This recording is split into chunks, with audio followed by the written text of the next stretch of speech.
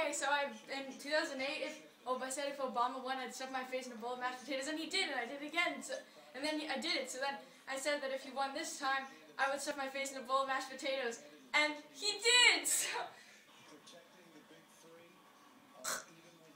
okay.